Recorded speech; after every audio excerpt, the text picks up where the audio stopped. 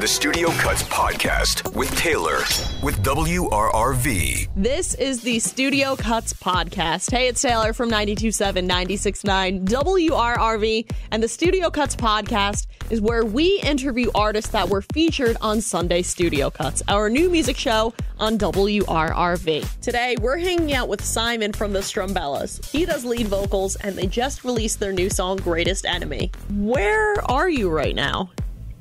I am in Lindsay, Ontario, Ooh. which is about an hour and a half away from Toronto. All right, so that's Canada, obviously.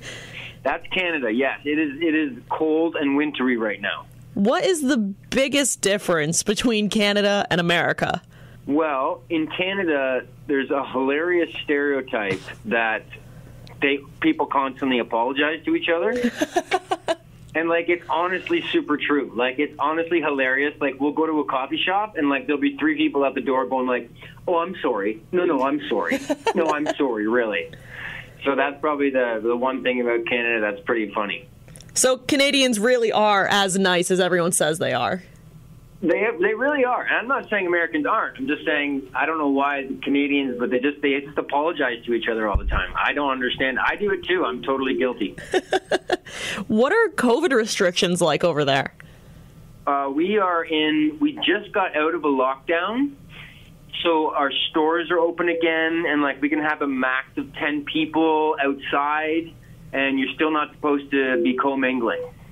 All right. All right, that's pretty much similar to kind of what's going on in New York. I know Texas is a whole other ball game right now here in the U.S. I've heard. I've heard Texas is a whole other ball game. Yeah, there's touring going on there. I've heard that people are touring around there. yeah, it's like 100% capacity in Texas. No masks, no rules. They are just kind of saying, like, screw it, and it's wild. That is very wild. Last year in January, you guys were set to kick off this big tour in Canada after touring extensively in Europe, but it was called off for what was first reported as an unspecified illness, but it later came out to be a mental health crisis. Can you tell us a little bit about that? Yeah, for sure. So we were coming home from Europe, and literally on the highway on the way home, I started to feel really weird, and that weird feeling turned out to be a pretty severe depression. And so I got super depressed, and I ended up like two days before tour. I ended up uh, checking myself into the hospital, and uh, and spent seven days there, and got diagnosed with depression, and uh, and that was why we canceled the tour. And I've been I've had the worst, literally the worst year of my life this year um, in terms of personally, and I'm I'm still in it. I'm I'm getting better, but I'm uh, it's been it's been a roller coaster of awfulness for me. I'm assuming the COVID pandemic had to take a really serious toll then on you. What was that like? Well, the pandemic was kind of interesting because I for me, I was just chilling at home anyways. Like I was so depressed and anxious that I didn't go out anywhere anyways. So it it didn't necessarily affect me personally that much, but I mean, I did think it probably didn't make it good because you know, I, I you know, whether I wanted to or not, I couldn't go out and hang out with friends or people. So that was probably not good for me, but but other than that, I was I was kind of homebound anyways. Oh, wow. If there was something you could tell someone struggling with mental health, what would that be? Oh my gosh, I would say it is extraordinarily hard and in any way possible if you can find a way to forgive yourself or or accept that it's not a shameful thing and it's okay and it does get better. That's what I tell them. I think that's a really good message, and I think that's something that a lot of people definitely need to hear right now.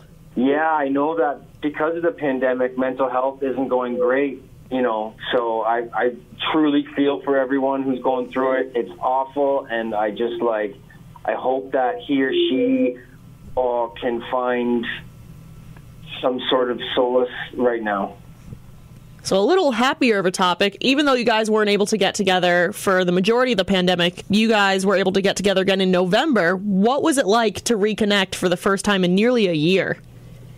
Oh my gosh, it was literally like we haven't been apart. Um, you know, when you spend five or seven years on the road together, living in small vans and sharing hotel rooms, you just become like family. So, so not seeing those guys for a while and then coming back into a room together, it was just like no time at all had passed. In fact, we actually are getting getting along the best we've ever gotten along. So, wow. So I guess distance does make the heart grow fonder. I guess so because everybody's just kind of after my incident and and everybody's just kind of totally a bit more chill and we're just kind of happy to be making music and hanging out with each other now. Did being apart for so long change the way that you guys create or even think about music? Um, I don't. I I can't speak for the five other members, but I can speak for myself and just saying no, not really. Um, I'm I've always just been the kind of guy that writes the bones of the songs, you know, in my living room or or around town. So that didn't change, and I continued to do that. And and then I'd, I'd send that out to the band, and then they'd be like, "Okay, we like it, Simon, or we don't like it." And and so that was actually pretty similar to how we recorded our other records. We just kind of did a lot of electronic communication, and then we just went to the studio and banged it out. Your song "Greatest Enemy" just came out. What is the meaning behind that song? Um, the meaning behind it is you know, it's it's definitely about my mental health struggles, and and it's kind of a message of hope in saying that I, I it's okay to suffer. I suffer, and you know I will get better, and I will prevail. Are there any other new songs in the works? There's one more that we recorded, Ooh. and we're super excited about it too. I just I'm the last guy who finds out about when it's going to get released or what's going to happen with it. So, so it's going to be as much as a surprise for us as it will be for you. Yeah, totally. That one day I'm just going to get an email and be like, "Hey, the song's out," and I'll be like, "Oh my god, okay, cool, yeah." Can we expect a new album in 2021? It's been a little bit since you guys have put one out. Um, yeah, totally. And you know what? It's not that we don't want to. We're, we have lots of songs brewing. We're all great friends. Everything is good. It's just um, we just don't have any official plans for that yet. If touring becomes safe, do you see the band going on tour when that's allowed? Oh yeah, for sure. I mean, um, you know that's that's the lifeblood of the music industry, and and uh, I think that I think that uh, people are definitely excited to go back on the road. Like and uh, hopefully, hopefully soon. Yeah. Would you pick up your tour in Canada, or would you just do something completely new? That is an amazing question, and uh, we have some places that we've always wanted to go. Um, but we'll, we probably Canada, United States, and Europe for sure. Those are like three territories where we always go. But we've always had uh, dreams about going to South Africa Wow. And Latin America. I'm sure the warm weather would be a nice change from Canada right now, too. I am ready for some warm weather. I am. This winter is dragging on. All right, my last question for you. If someone were to come to your city, obviously when it's safe, what is the one thing they have to have to do? Um, oh, mama. And what would you do in Lindsay? Um, well, just for the record, I live in a very small town, so um, if there's one thing you'd have to do, it would probably be come golfing with me. All right. Where's your favorite golf course? Uh, just a local one, Lindsay Golf and Country Club. I've become a golf fanatic. So if you come to my town, Taylor, you're coming out golfing with me. All right. Well, it sounds like a plan. Well, thank you so much, Simon, for hanging out with me and the Studio Cuts podcast. Yeah, no, I really appreciate it. And thank you so much for the support of the song and the band. It's awesome.